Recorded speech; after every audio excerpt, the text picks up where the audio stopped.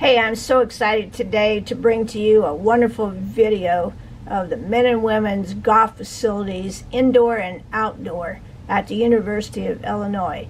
It's incredible what you're going to see in this video.